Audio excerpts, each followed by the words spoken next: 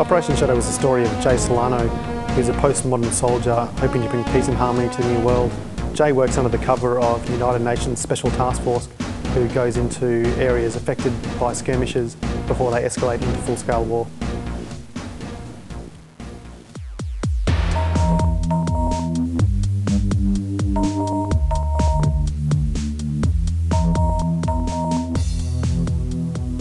Operation Shadow is purely fictional name and it's inspired by top secret organisations who work under the cover of darkness. The game concept was inspired by such games as SWIV and Battlefield 1942 where players can use multiple vehicles and uh, run around on the ground to achieve their objectives.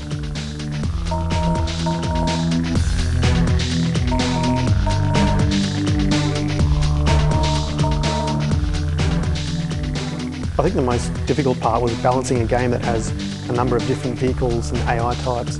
Uh, fortunately, we have a tool which allows our game and level designers to go into a level, move enemies around, and also change their attribute types, such as speed and hit points.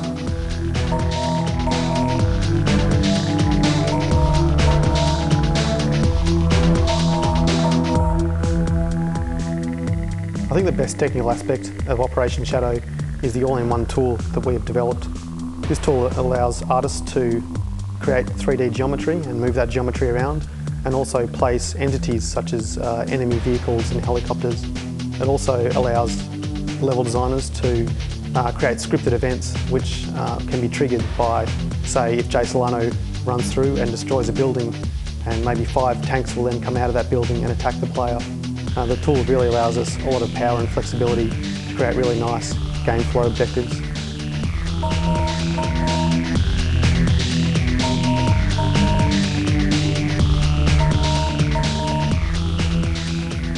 The idea of Operation Shadow was based on a one-man army such as films like Commando and Rambo. We really wanted to make a game where the player could use a lot of different vehicles such as tanks, Hummers, helicopters and even run around on foot. Um, we think this game has done all of those elements really well. This is Hansia. He's one of our 2D and 3D artists. Basically, we start with a concept sketch on paper, the type of model he wants to see. Then we normally scan that in and uh, into Photoshop where he can make changes to it. This is Mark, he's our lead artist on Operation Shadow. Mark's responsible for modelling all the 3D vehicles and characters in the game. This is the main character in the game, Jay Solano, and the characters in the game are actually 3D as well.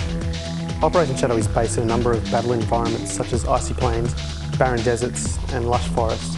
We wanted to use a number of real-life locales so Jay can wage his one-man war against evil regimes in a real-life setting.